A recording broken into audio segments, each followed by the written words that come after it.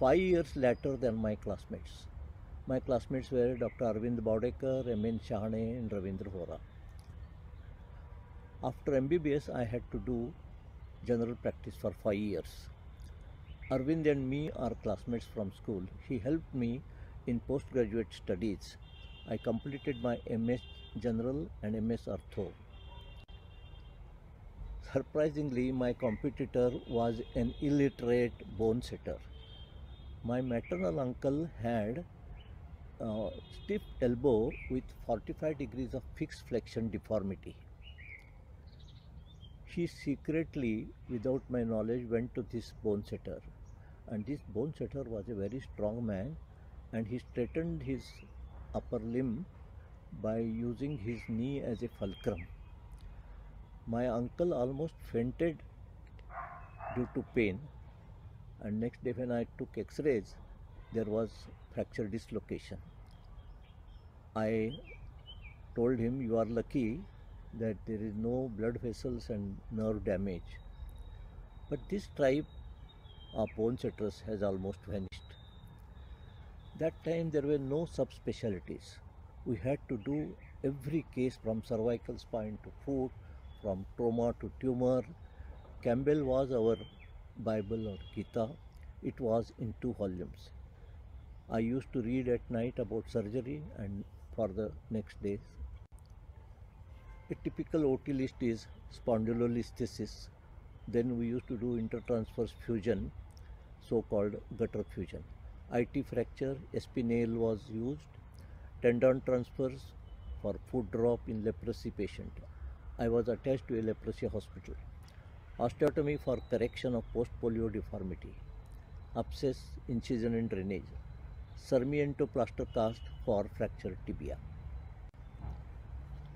Ortho and now, today's generation of orthopedic surgeons are lucky because there are phenomenal advancement in technology. For example, take for example an fracture neck of femur. SP nail was used and uh, portable x-ray was taken in OR. For every step x-ray was taken and was sent to development to dark room. After about 5 to 10 minutes uh, the x-rays would come. So uh, about 2 to 4 hours uh, surgery was to be continued. High, there was high incidence of non-union AVN and infection. So Girdlestone was the treatment of choice and Austin Moore in the elderly. Poliomyelitis. It's a very pathetic scene. A four-year-old child playing in the evening uh, and next day very crippled for life.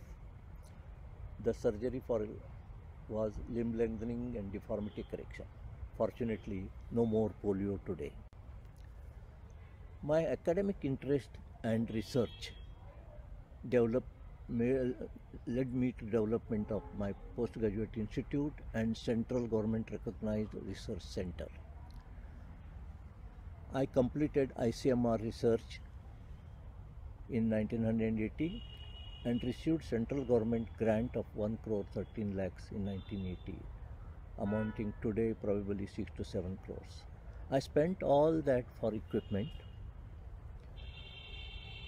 First was the image intensifier in 1982, then laminar airflow in 1984. Entire set of AO equipment and implants and instruments were purchased why India is lagging behind. We have abundant clinical material, hard-working, intelligent surgeons. We would have been a world leader for in orthopedics. What is lacking is deep thinking in a different way and in-depth analysis of failures. Publication. 30 years back, China was nowhere in publication, but today it is at one of the top countries. American Academy of Orthopedic Surgeons and Indian subspecialty associations have helped me in my practice. AOS I used to go once in two years since 1985. Newer developments are learned there and I tried to use them on my patients. For example, Ilizarov. I learned from Paley at American Academy in 1990 and immediately I started in uh, in India. Last two decades, almost every year we are going to American Academy with Dr. Tanna and Sudhir. After the American Academy, we used to go for one week for sightseeing. I was a member of all the subspecialty associations and actively participated in all meetings. WIROC. I attended all the meetings since 1968 except one.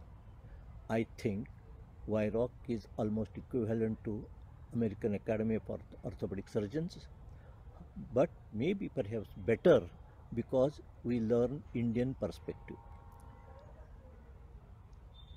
WIROC was a great help in my practice.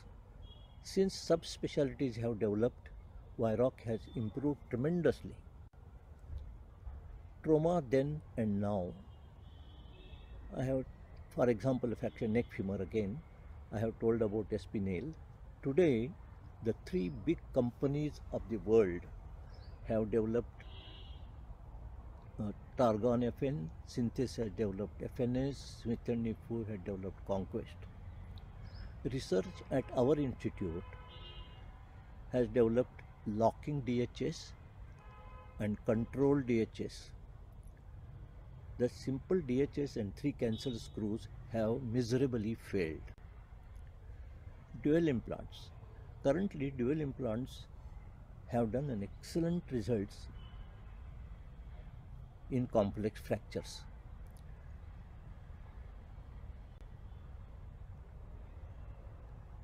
This is a tibial plateau fracture and 14 month old non-union of subtrochanter fracture. This is a case of severe infection. Antibiotic red alone failed. Antibiotic rod and Ilizarov and once the infection was controlled, dual implant was used. Doctors and burnout phenomena. I studied the burnout phenomena. My doctor friends are often bored, tired and left good practice due to burnt out phenomena. They are so busy in practice that they have no time to take care of their physical and mental health. Main this is the main cause of burnout. Health is priority number 1 new research in neuroscience in brain how to sharpen your memory and prevent dementia and alzheimer. Advanced brain imaging for mapping areas of anger fear etc by 9 tesla mri we are using only 3 tesla mri these 9 tesla mri are very costly and used only for research work and is available only in big cities like London and New York. Functioning of the brain, heart are all studied by this 9M Tesla.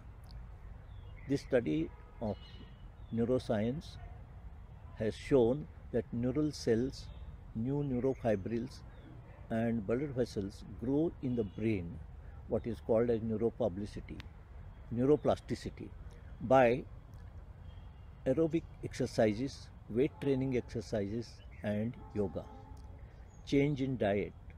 Sound sleep 8 hours is one more important factor. Stimulating brain by various methods. Modern meditation to calm the brain. There is robust evidence of all these for all these things and also these things are also useful for improvement in general health. This is the brain mapping of by 9 Tesla for brain imaging. Now this is the above one is for fear, for pain and for depression. This is MRI of Einstein's brain. He was a great violin player. This brain was stolen by a pathologist. There is a big story about it. Uh, Scientific exercise consists of aerobic, walking, swimming, and muscle strengthening, daily 30 minutes for four times a week and stretching yoga for 10 minutes breathing meditation for 10 minutes. So you must use about 1 hour and 20 minutes for your health for your body scientific exercises regular exercise has shown improved memory skill creativity reduced risk of dementia and alzheimer Aerobic exercise improves cardiorespiratory function and general health.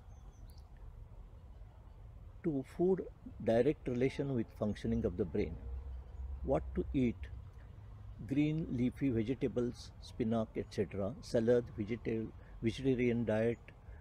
However, grilled and boiled fish is allowed. Fresh fruits, berries, preferably two meals a day and fasting is very very helpful maybe intermittent or 5 to formula what not to eat is fried foods batata vada pakoda french fries potato chips and red meat avoid junk food desserts and bakery products sleep is important reduced sleep interferes with memory respect biological clock of the body sleep eat, work at scheduled fixed time. Do not take drinks or pills for sleep. Stimulating brain is another important factor. By learning new skills, new language, anything new is important.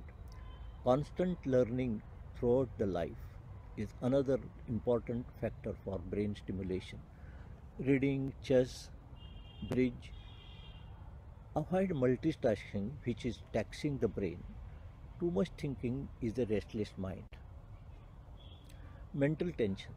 Surgeons are under tremendous tensions due to heavy load of work, competition, today's fast life, and rowdy society. Chronic stress, worry, fear affect memory and health by shortening telomere. Mindful and compassionate meditation currently popular in the West, mindfulness, awareness, attentiveness are the same. Being fully attentive in being in the present moment. Doing all day routine work with full attention and no other thought. Mindfulness stops negative thinking. What is mindfulness? It is to be in the present moment, paying attention to what is happening inside our mind and body as well as outside. Keep watchful eye on all thoughts, emotions and feelings. Living in the now, ego, I are, is absent. Tension is reduced. Meditation, vagal breathing. Focus your attention to this simple action of breathing, air going in and out for 10 minutes. During this period, no thinking because excessive thinking is a very troublesome mind. So if the thoughts arise during this breathing, you stop it and again concentrate on breathing. Breathing is the basis of relaxation, calms your mind.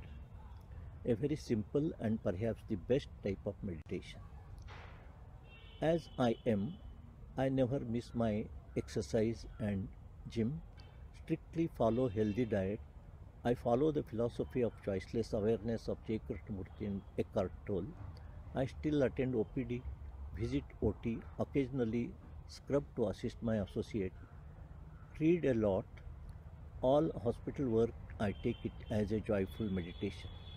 As of today, I am healthy. Thank you for inviting me along with three great idols, Dr. Chaubal, Nandu, and Dilip. Thank you, uh, Professor Dr. G.S. Kulkarni, sir, for that wonderful talk.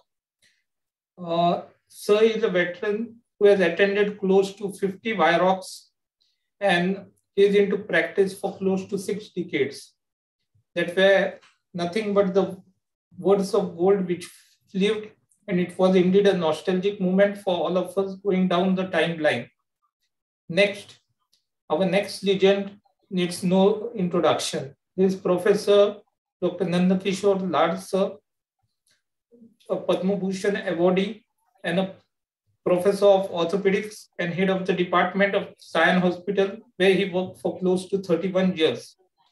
Again, a veteran into this field for close to five and a half decades and a rich experience.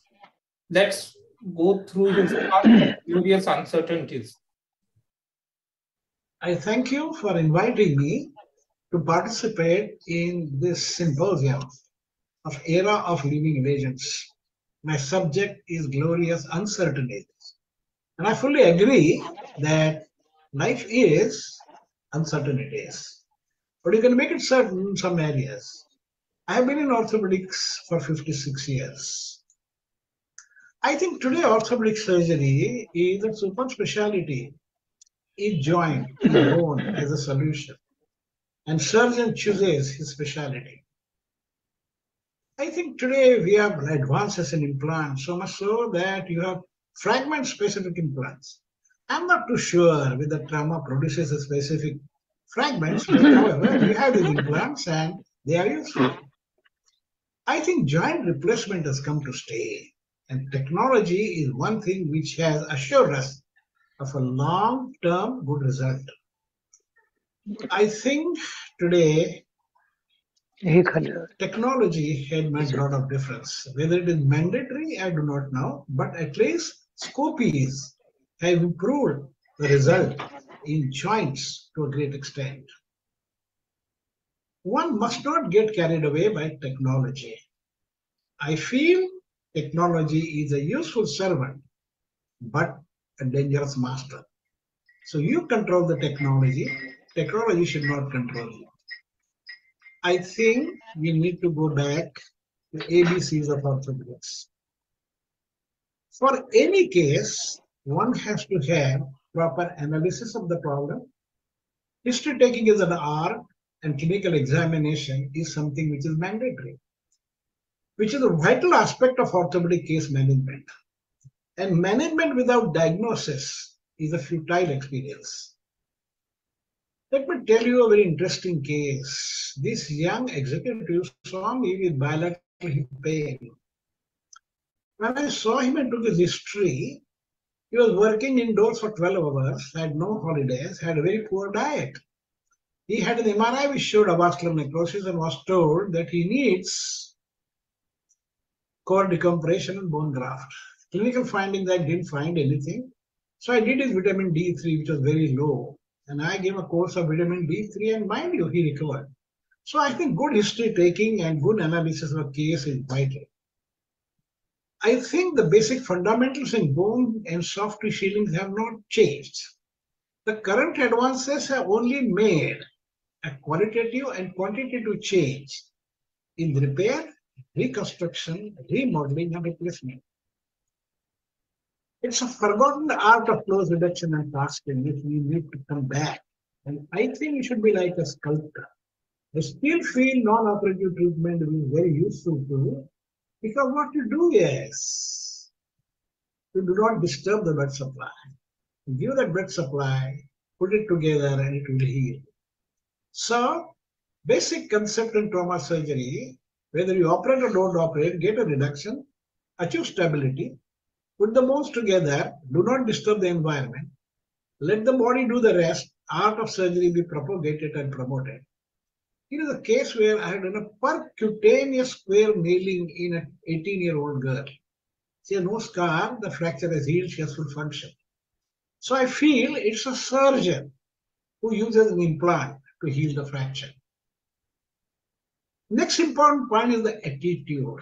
Attitude of the surgeon one must care for the patient, one must be compassionate, one must have conscience, believe in collaboration. Cooperation is important and attend conferences to enhance expertise. Computer helps in documentation and research. It's a useful tool. So diagnosis is made by the orthopedician. X-ray still remains the best tool MRI, CT scan, and others aid in planning to achieve a desired result. Only in occult regions, they offer some help. Technology has come big way. Imaging is very useful. Image intensifier has made all the difference. So today are newer surgical techniques, biomaterials, and biomechanics. So we have to enlighten with the new techniques, analyze their role and rationale, but do not get enlightened with their applications immediately and not to follow unless proper training and facilities you have. The AO Foundation, in addition to the basic principles, said to achieve any results, you need to have good environment, excellent instrumentation, and training. And I still feel more than anything, these are three most important aspects of success of the surgeon. So, friends, the need of the hour is not nailers, platers, replacers, but well-trained orthopedic surgeons. A good result is outcome of good planning and execution. Creating a good facilities to achieve desired goal is a mandatory quality. Here is the result of bilateral knee replacement.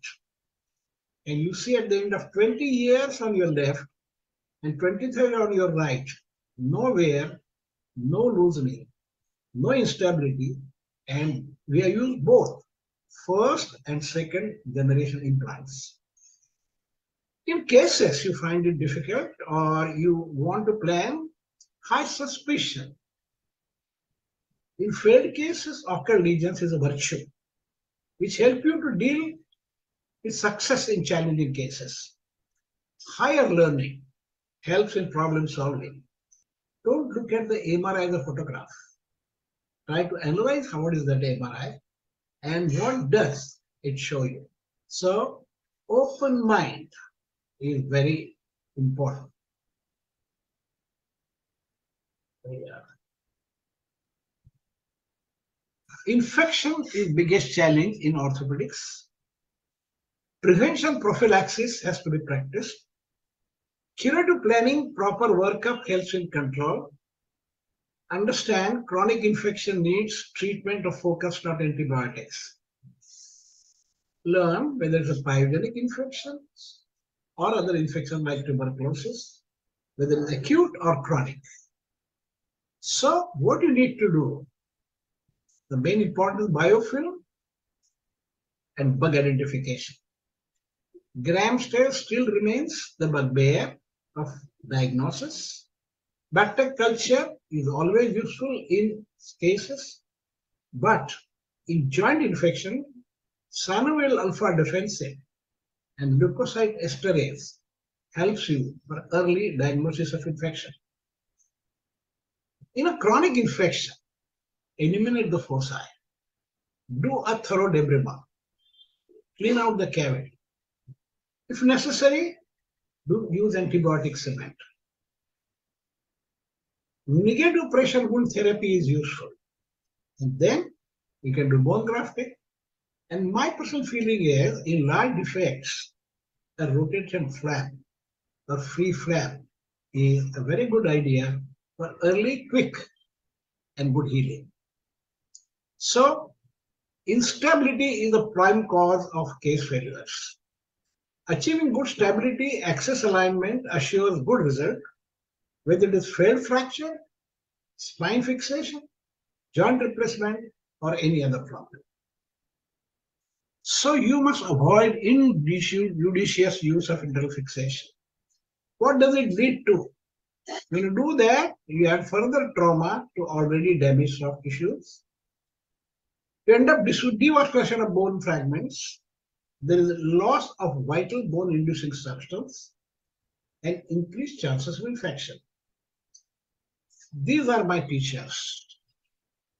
And they told me the basic fundamentals of orthopedics and still the need to be a surgeon, to be very open mind, eager to learn.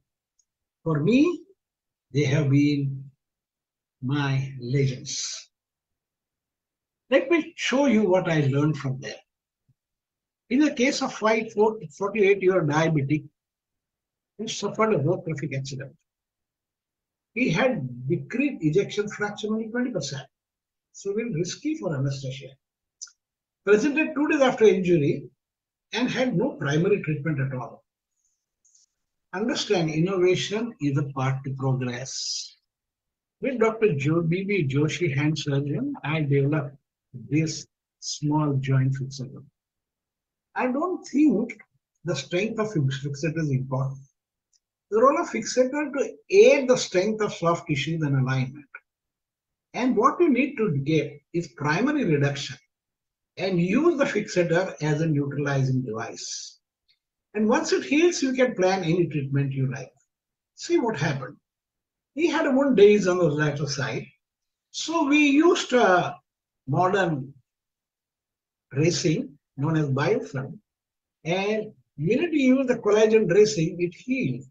And we did not have to have a bone graft, a skin grafting. It healed in four months after the functional cast. And look at the result. This is the result. Uh, you'll agree that innovative methods will help you to it So in my opinion, friends, fracture care is still the gateway to being a good specialist. Art of reduction is still the basis of success. Non-operative, minimally invasive, reconstructive surgeries have a role. Modern implants and instruments have improved the quality of care. So a living bone has ability to hold, heal, provided surgeon creates an environment conducive to healing. So the need of the hour is to have patience, concentration, hard work, being meticulous in your surgeries, and build up a stamina. I suggest spend 20 minutes doing exercise every day and take off on a Sunday and go for a run.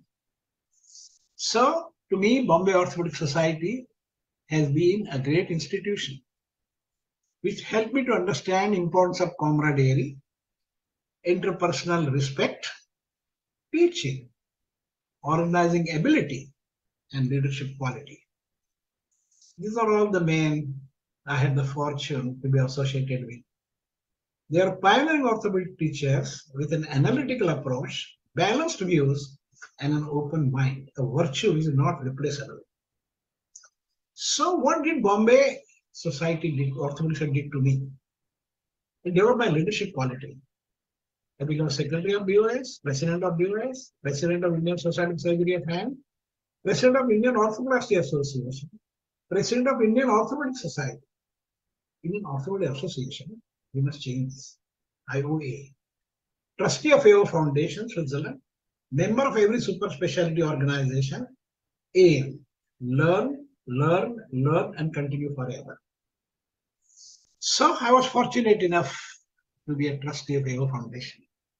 Not that I was something different from other orthopedic surgeons, but my attitude to learn, my respect to my teachers, an open mind and appreciation of my associates helped me to go there. Then association of 93 surgeons from 100 countries. And you get a lot of good information when you meet them. Friends, all work and no play is not good for the soul. What you do today is not because how great surgeon you are, but for a but for a good family support.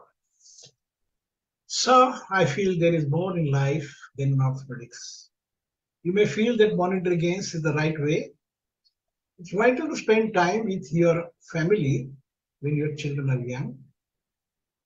Please do remember time lost is vital.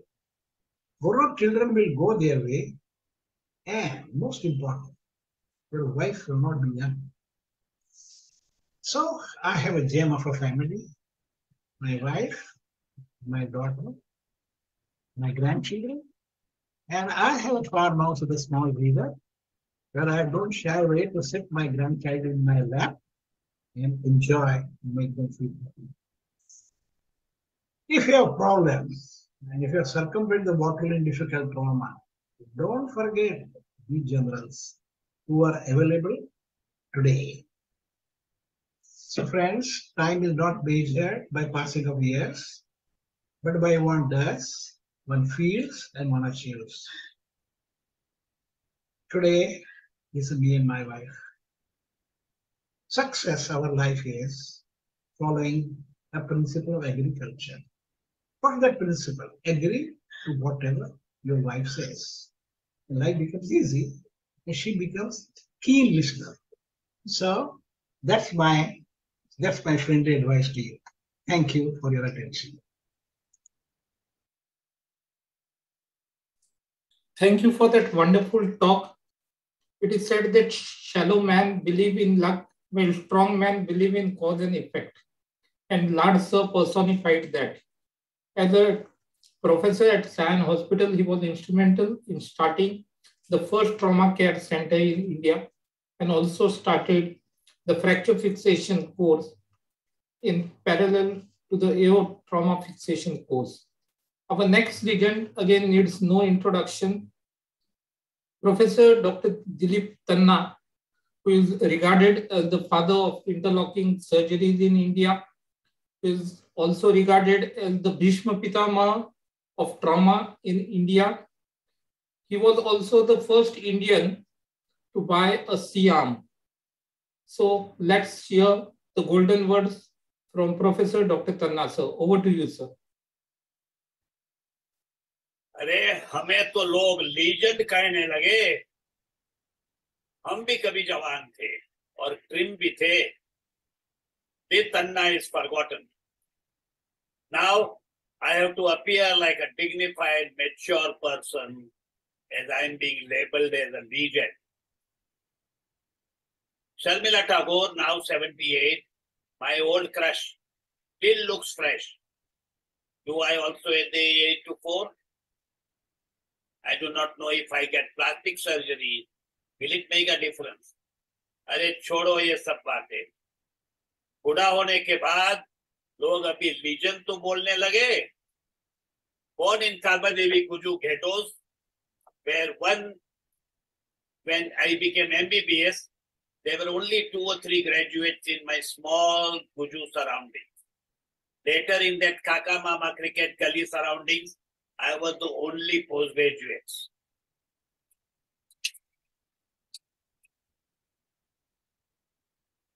बनियागिरी was in our blood Money was our Guru, Guju driving force. In college, just for saving 10 paisa, most of us walked one bus stop, not that it was needed because of poverty, but just to save money. Just why waste money? Probably the reason I never could buy Mercedes in lifetime, not even now. At that time, my surrounding boys went to college only for stamp of a college for their marriage proposals.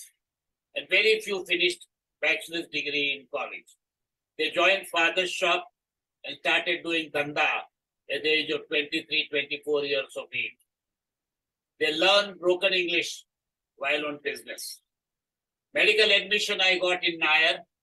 When I got call from JJ after that Nair admission, I had to lose 150 rupees, which I paid in Nair.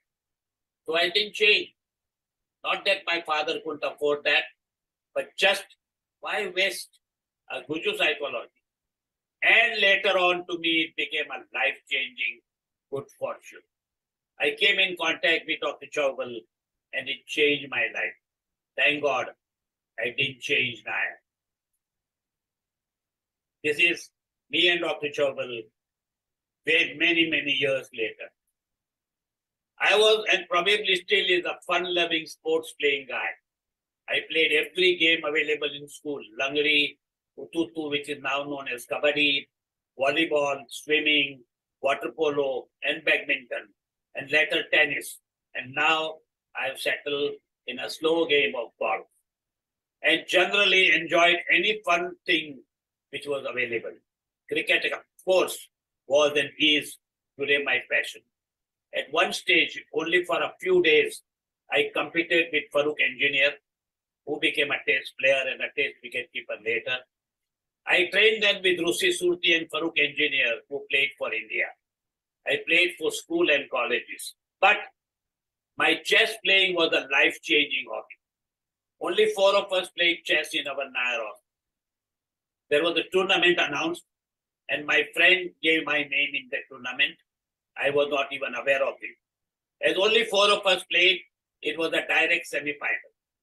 My opponent couldn't come for the semi-final, so I came in final and I lost. But I was number two in the college, so represented our college in a chess intercollegiate tournament and got three marks. In my posting for house surgeon and registration for orthopedics, where I beat my opponent by one mark. Chess, Jindabad. In my first MBBS out of 60, only 16 of us passed first attempt. And however, second MBBS, we saw each and every picture came in town. In second MBBS prelims, I got six to seven marks out of 100 in pharmacology and pathology. And professors called few of us and threatened to not give form to us. Dr. Kekere, a uh, professor, is a very kind-hearted person. He knew all of us well. We all passed in upper grades. Like this, Haste Khelte MS ho And Dr. Chaubal came into my life. And we all who came in his Chhatrasaya started taking orthopedics with a difference. We all read, argued, tried to prove each other deficient in healthy way and progressed. Thanks to Dr. Chaubal. These are the four books I wrote later as, for a practicing orthopod. Tanna's interlocking book, first one, orthopedic tidbits, proximal femur fractures, and orthopedic secrets. This was one of the first book, and this book was dedicated to Dr. Chaubal. It is the tribute to the person who has the most remarkable approach to teaching. According to him, learning is not just gathering information and storing it.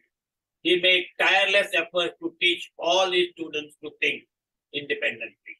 He inspired and encouraged all of us to rise to our highest potentials. He broke the old tradition that the master should be obeyed blindly. He strongly believed that learning is not at the feet of the master, but by arguing and discussing with him. In this way, the master and the disciple both learn. This is the most important lesson to be learned in life today. Not only in all fields, but also in every field of life. I was a very strict teacher and harassed my RMOs only in orthopedic before they got their MS. One old NIRITE meeting where now all those students were in 50s. When we met all the time, which was discussed in how Dr. Tanna harassed us during her RMO Dr. Mrs. Dilip Nadkarni, who said at that time we were not married, and after every ward round, my boyfriend Dilip Nadkarni would come and lie down in my lap and cry profusely for an hour after that meeting where everything went haywire. They talk about this all the time, but are grateful. They all have become excellent surgeons, and now they are my best friends. Then after that, I wrote this book, Orthopedic Tidbits. The ward rounds were the ones which all my residents, including senior lecturers, were apprehensive about. During those four hours of exhaustive probing and hostile rounds, few weak-hearted cried, but never bugged. If they did, they knew they would neither survive nor gain. During those rounds, all of us got galvanized and read and thought about orthopedics and innovation. With our discussions, all of us got upgraded in orthopedics. This book is dedicated to all those who suffered those rounds with me and contributed to the growth of all of us. I'm ever indebted to them, but definitely not sorry These are all those bright students of mine. Dr. Rajesh Maniyar, now a prominent joint replacement surgeon. Dr. Vinod Laheri, spine surgeon, professor in KEM, he became afterwards. And he has created so many spine surgeons. He is Dr. Vinod Agarwal, who is one of the prime surgeons in Lilavati hospitals in Bombay. This is me. This is Dr. Sanjay Desai, who is now a shoulder surgeon, very famous for Khan. This is Dr. Anand. Dr. Anand is a spine surgeon now settled in Hollywood, and he has been a international faculty for so many meetings. This is Dr. Dilip Nadkarni, whom we just now talked about, and he is a arthroscopic surgeon.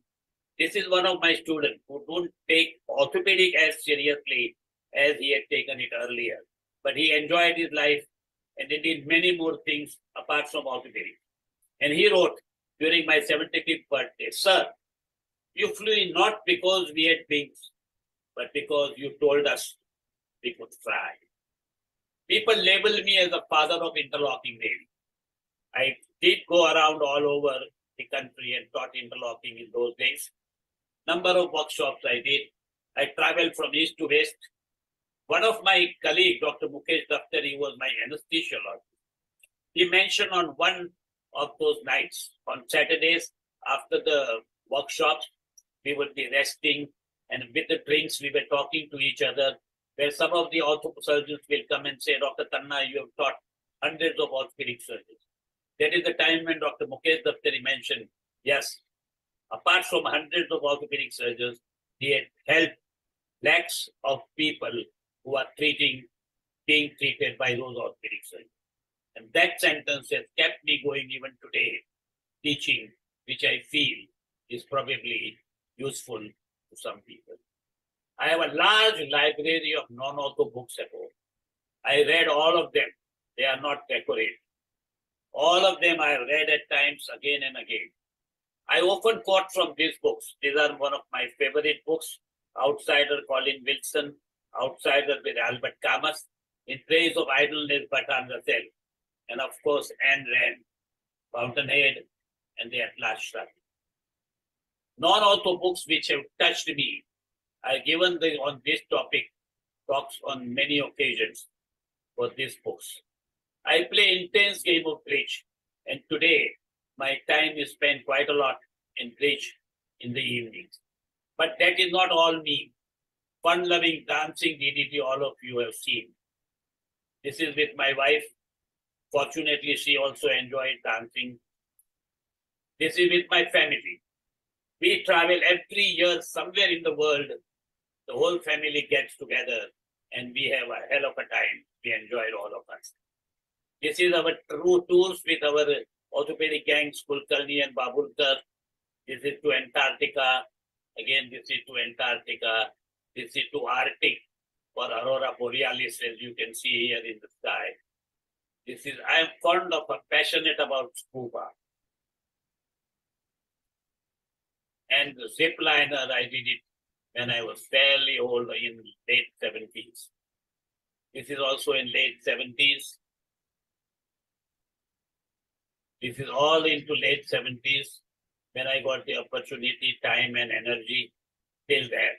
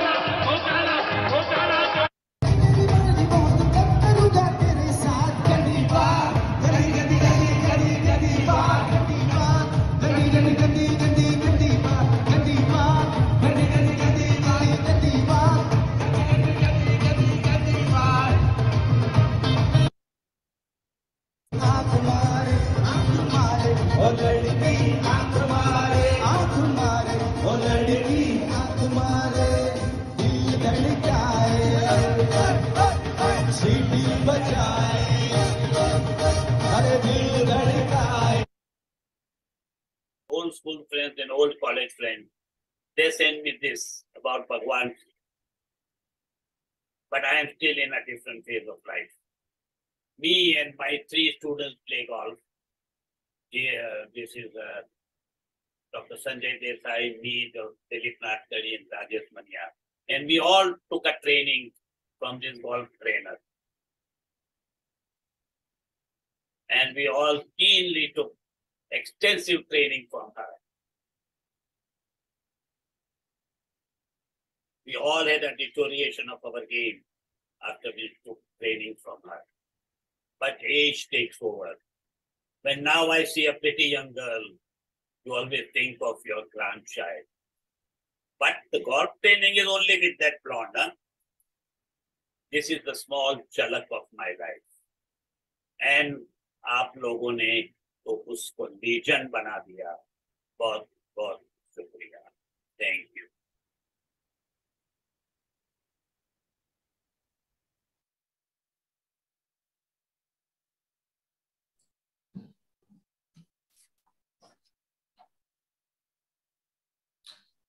Thank you, Tanna sir, for that wonderful talk. He has indeed enlightened this Saturday evening.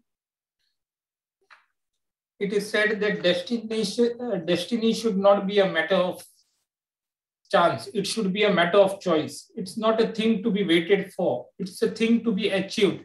And Tanna sir personifies that very well. Our next legend, again, needs no introduction. Dr. V.T. Ingalhalikar, sir, Professor of Orthopedics and Spine Surgery at the prestigious Lokmanya Tilak Municipal Medical College, where he worked for more than a quarter of century. And currently he has moved over to Jupiter Hospital, Thane. If there is one thing which can describe him, that's he's a master of all. A very enthusiastic teacher, a great administrator, an enthusiastic organizer, an ace musician, a talented singer, a great photographer, a certified yoga teacher, and a, with a keen interest in regional literature. He also has many firsts to his clinics, uh, to his credit.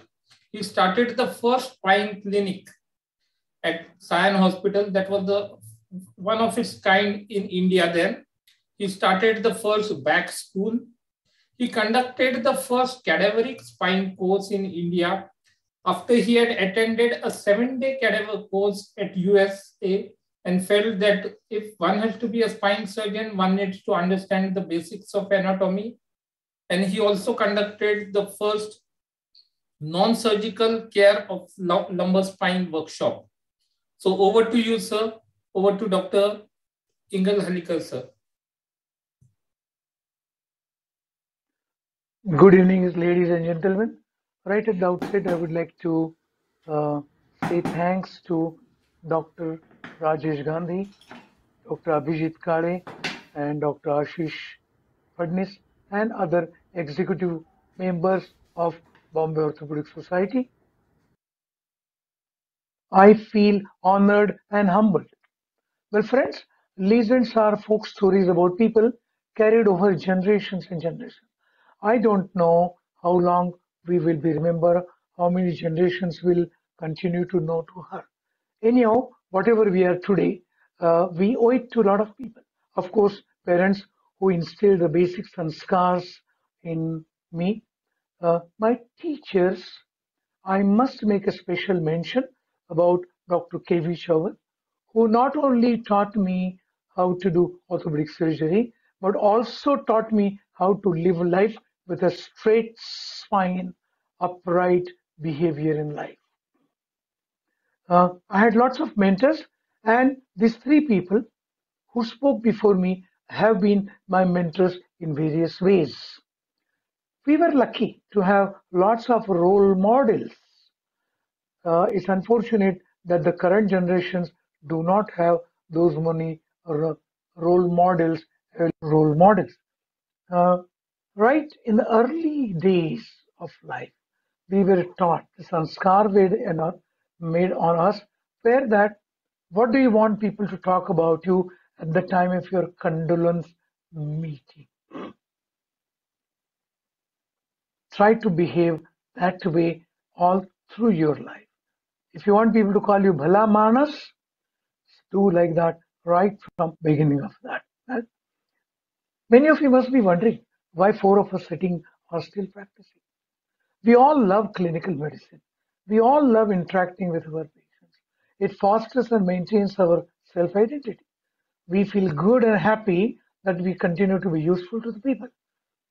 Of course, the age has slowed us to some extent, but we'll continue till such time as we feel that we are safe to our patients.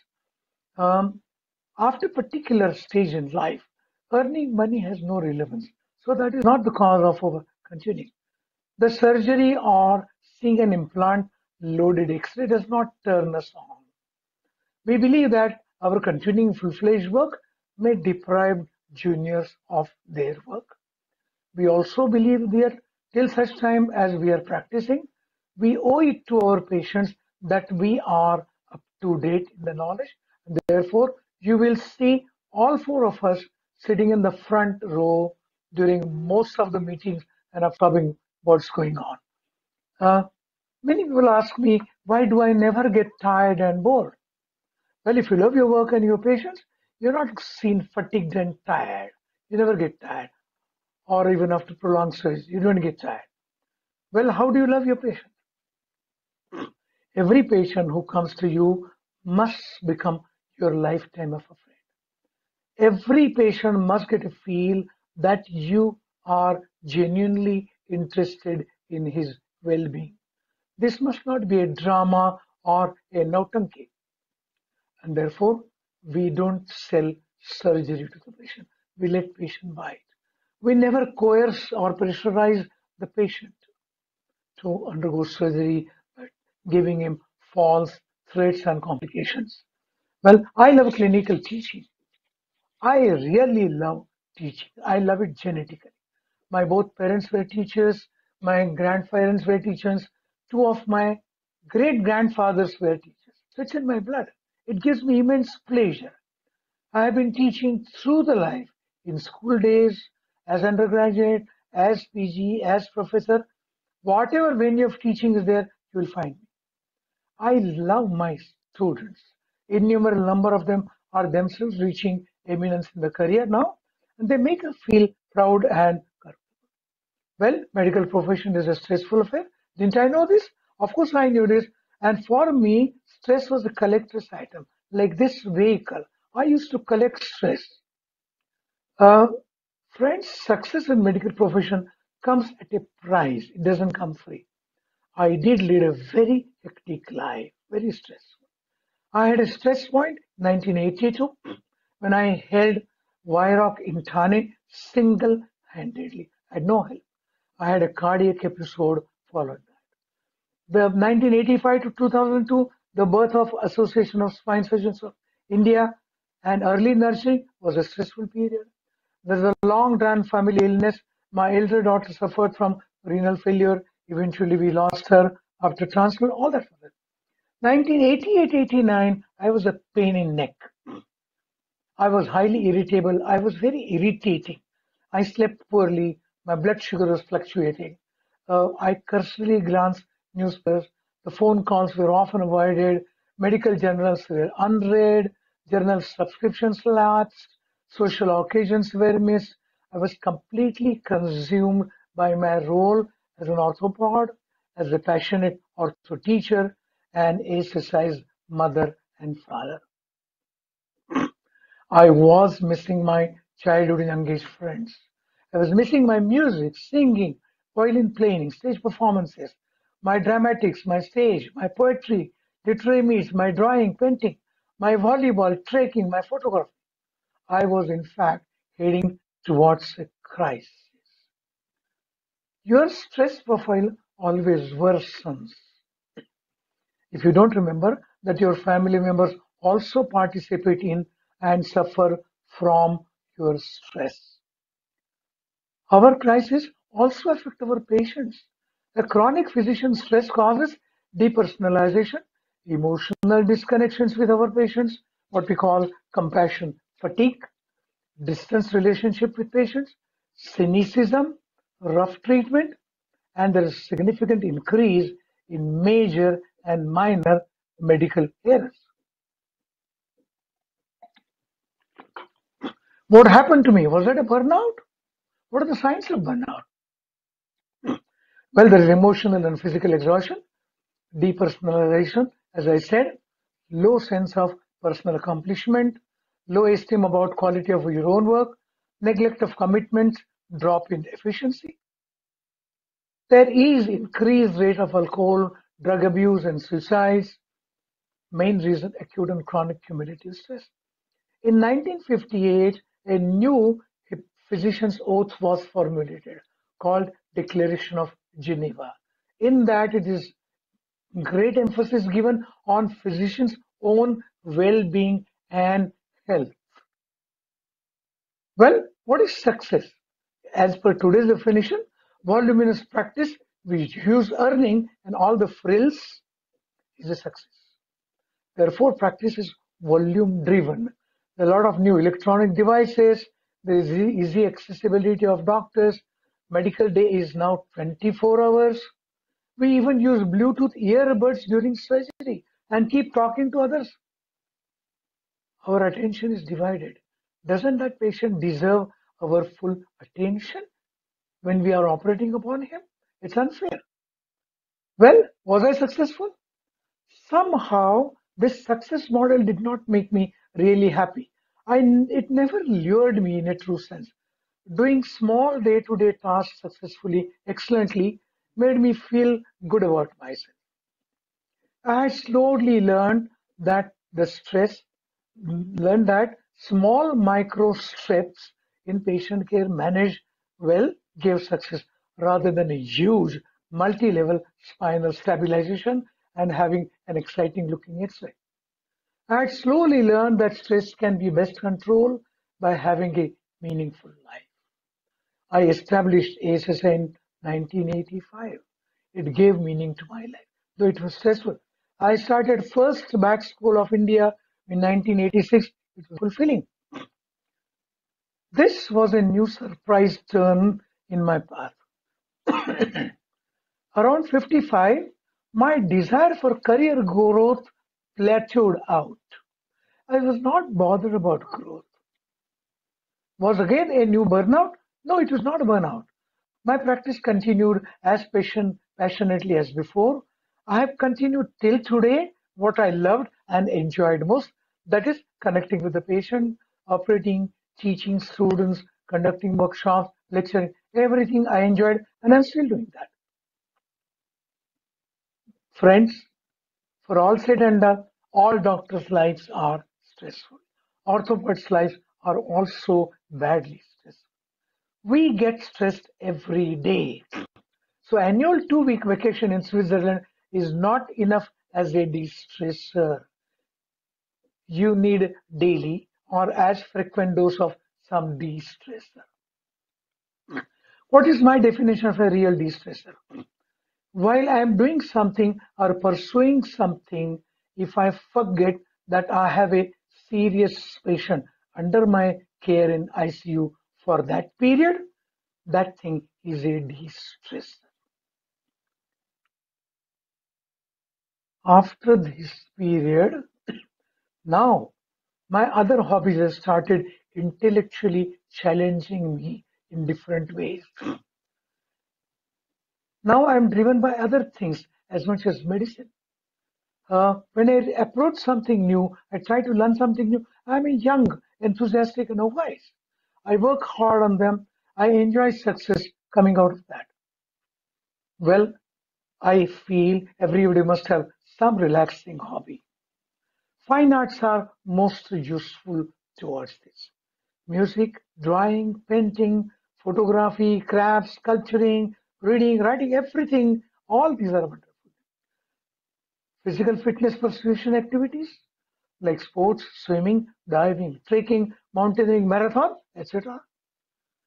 Friends, please don't wait till retirement or don't say, my son is doing final MBBS, he will pass his MS, he will join my practice, then I'll do it. Don't wait for your faculties to go down.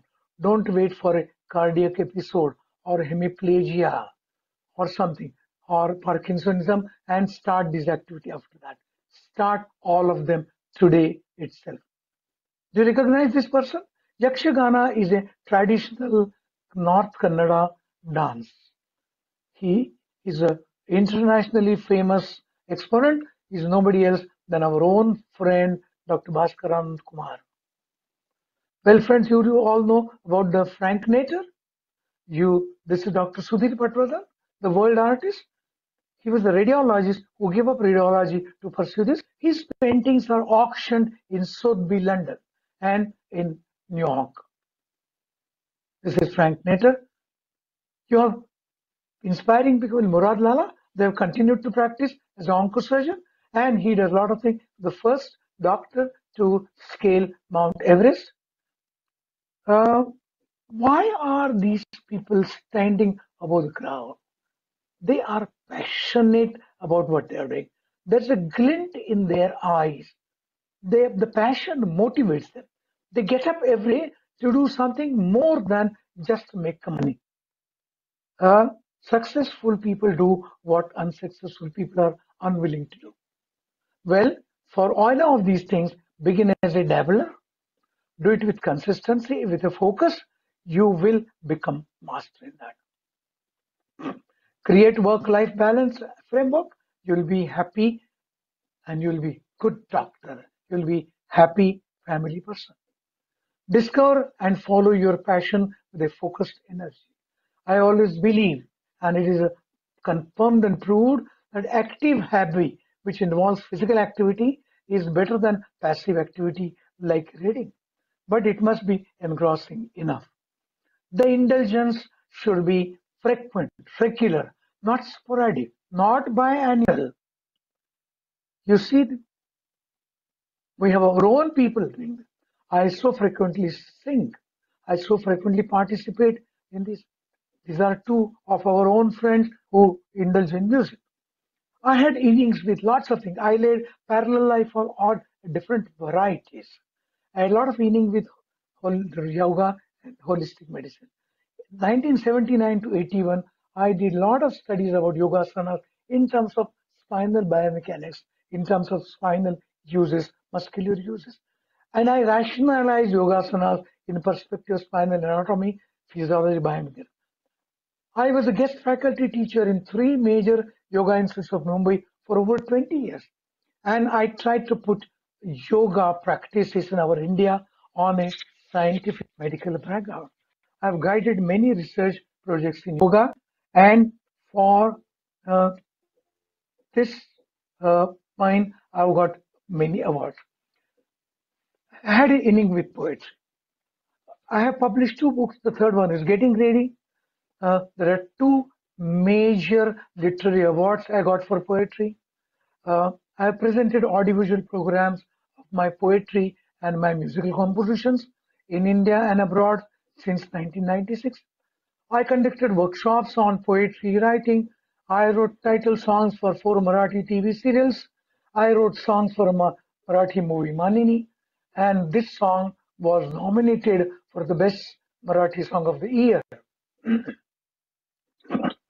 well, these are my books. These are various trophies I got. Uh, my innings with music.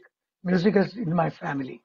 I am the fourth generation musician in my family. My great grandfather was a Darbar court musician in Kolhapur and Kagal. My father was a musician and singer and artist. I have studied music from childhood. But in 1996-97, I did diploma in music composing and music direction from Mumbai University Department of Music. Then in the same course, I became a faculty teacher for two years. I've composed music for three Marathi stage plays. I've done two CD albums of Marathi poems. I've composed anthem songs for Indian Orthopedic Association, ASSI, Bombay Spine Society, Bombay Orthopedic Society, Jupiter Hospital, Sanskrit Festival, and many others.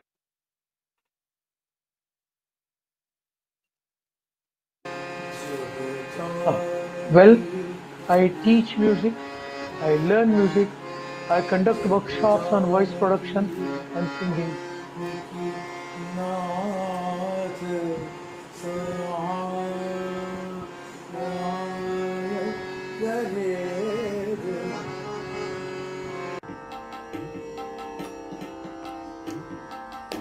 I, I also write on these topics.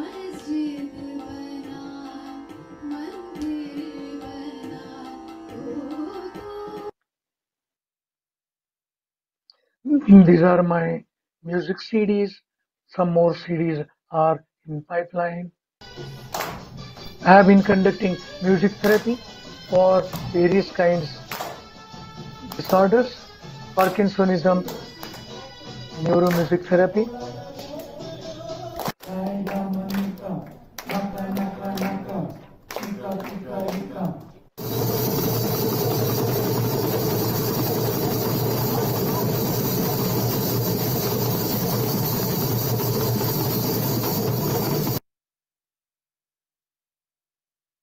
I have been using music therapy in various medical conditions since 1990. I give talks on music therapy. I've contributed to the press a book called Indian Music Therapy. Uh, conducted projects and also workshops in music therapy in five institutes for physically demanding people. I am founder member of Indian Music Therapy Association and also member of International Association for Music and Medicine. Hmm? Well, creative art makes me very happy. Look at these uh, phone covers. I have been doing this for a long time and many people come and request me, sir, मुझे मेरे phone cover पर निकाल के दे.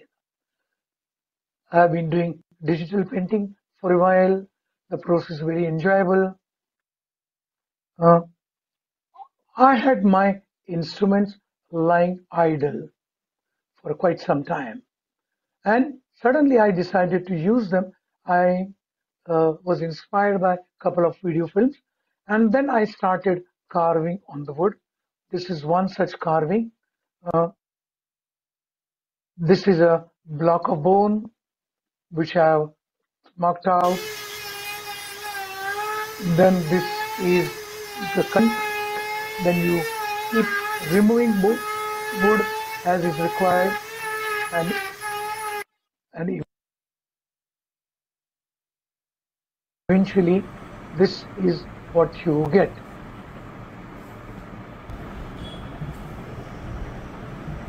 This is made from ordinary wood and the friendship with 3D vertebra means I had no model sitting in front of me.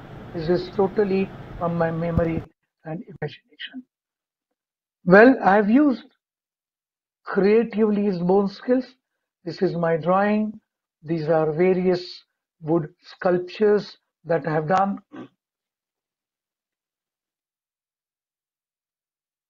You can see here plain board, the drawing on that. You start digging out the bone. At the end of this is what you get. You have another one or you can even have 3D dig out like this. Um, I have a farmhouse, in Vikramgarh, and I even retrieve uh, bone, retrieve wood from there.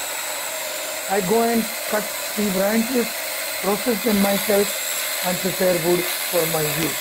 This is the one on which I'm currently working. Uh, when you go to Khandala from here, there is a long tunnel at the top. When you go to get out of the tunnel, there's a long wall on the left hand side. You see so many monkeys perched up on that. This is exactly how they look at you through your mm, glass window. Uh, this is a wood I took. This out. This is a Diwali Kandil. Now remember, this one is not painted.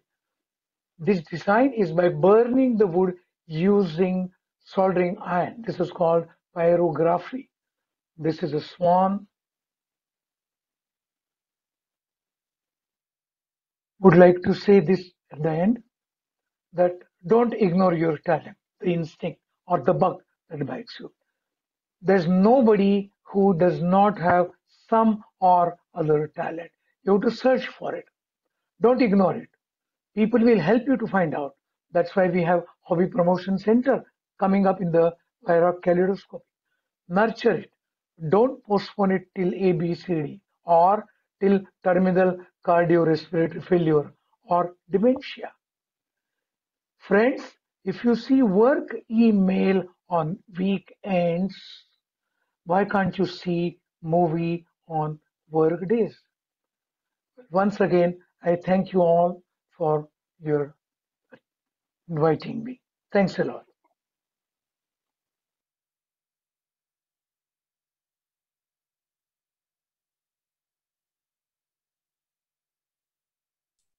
Thank you, sir, for that wonderful talk.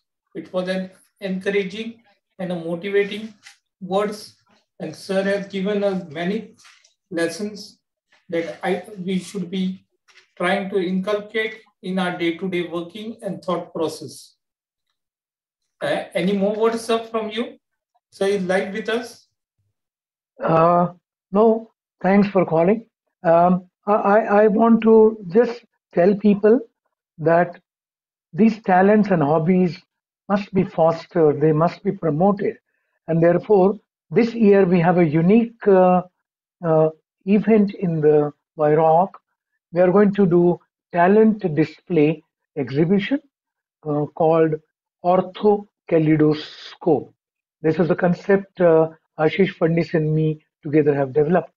And in that, we are going to have paintings, drawings, photographs from our ortho delegates we also have a music cafe where lots of people will be singing, dancing, playlists will be there. We also have a hobby promotion center whereby if I want to learn something from somebody, the whole, all the resources, the pros and cons, the requirements, whom to contact, how to go about, how to develop, will be learned from the mentors who are doing all that. And all their orthopods. I think time has come, probably first time in any conference this is being held. This is, I would say, an extension, uh, multi-participatory extension of non-academic sessions of all our meetings and conferences. So I, I would request all of you to go and attend them. It will be in the same venue during all three days of our WIROC. Thank you again for inviting me first. Thank you, sir, for that input again. So as we come to the flag end of this program, let me give you a brief update of our conference, WIROC. WIROC, the annual conference of Bombay Orthopedic Society is considered the mecca of orthopedic academics and is attended by orthopedic surgeons from all over the country. Regarded as the benchmark of all the orthopedic conferences, WIROC receives the best faculty from all over the world, delivering and sharing knowledge with their peers. This year, the theme for WIROC is motivate, innovate, and integrate, redefining orthopedics. WIROC is going to be a four days event starting from 28 December to 31st December 2022. The first day is a virtual day and in, on this day, we'll be showing in-box surgeries and try to cover over 100 surgeries across all the subspecialties of orthopedics. The main conference will be a three-day event, which will be held from 29 to 31st December 2022. Over 100 sessions will be held across four halls at the venue. This time we have shifted over to a new venue that's Jio World Convention Center where events come to life. Jio World Convention Center is today country's foremost venue for best-in-class exhibitions, conventions, and meeting. It offers highest standards of technology and designs, and it is also situated in the nucleus of the city today, that's the Bandra Kurla complex. Here, we tend to go beyond the conventional and offer you more than what you would have expected. During this conference, all the customary plenary sessions will be held, including the most coveted Dr. K.S. Masalawala Best Paper Award for original research work. Also, case-based scenarios work, uh, sessions will be held. Emphasis will be given on clinical scenarios, over 20 workshops covering spine, joint replacement, arthroscopy, fracture fixation, extra, uh, ring fixators will be covered. Also, we will be having uh, different zones for the robots which have been introduced in joint replacement surgery. We received an enthusiastic response where we got over 362 abstracts. That was very encouraging and it has broken all the past records of WIROC. Also till date, we have got more than 550 registrations with another 45 days to go. As Dr. V.T. Ingalhalikar said, this time what's new in the conference is we are trying to include a session where one can showcase their skills beyond orthopedics. This session has been labeled as Kaleidoscope, where there will be art exhibition, hobby persuasion promotion centers. People can showcase their themes as well as their love for music. Here, it's not, the conference is growing in all the possible ways. We have got an area spread over 1 lakh square feet where 50,000 square feet has been dedicated for trade. And we will be having close to 100 stalls in this area. And also, as we all know, Bombay is known for its nightlife and the way we party. This time we will leave no stone unturned and we will be celebrating for all the three nights. That's 28, 20, uh, the, uh, 29, 30, and 31st. The 31st night where we'll be welcoming the new year would indeed be a memorable one for all of us. And the, the accommodation, just across the road at the Jio World, we have booked two hotels, that's Hotel Trident and Hotel Sofitel. Believe me, they are just a walking distance, just one need to cross the road and get into the center. I thank the entire executive committee of the Bombay Orthopedic Society for offering us a wholehearted support for this annual event. With folded hands, I request you to come forward and register for this one and only one conference that's WIROC Max 2022, where we would like you to participate and share your knowledge as well as go back home with the best memories you ever had today. I, uh, over to Dr. Ashish Phadnis, who is my, uh, who is the organizing secretary for this event. Thank you very much once again. Thank you uh, to all the speakers, the dignitaries, and it was a very, very stimulating and uh, really uh, good take-home points that we can reflect on and imbibe very early on in our practice at all levels of uh, our career. Uh, I would like to thank uh, Dr. Rajesh Gandhi, Dr. Abhijit Kale, my uh, co-organizing secretary and uh, the organizing chairman of WIROC, and most importantly, all the delegates who have stuck with us and uh, the people who are watching, and a humble bow in respect and uh, a really humbling uh, experience to listen to Dr. G.S. Kulkarni, Dr. Nandakishore Laud, Dr. Tanna, and our dear Dr. Inga Ingalhalikar sir. Thank you very much. And thank you very much to Ortho TV. And uh, stay tuned for another of such interesting session where we will be talking about orthopedicians who have made a difference uh, in their careers and to their practice uh, next week. Thank you very much. Thank you good night and see you back on next Saturday at the same time 9 p.m. on 26 November 2022 with the second episode of Curtain Raiser with where we'll be going through the era of eminent teachers. Bye-bye and good night from the organizing team of WIROC Max 2022.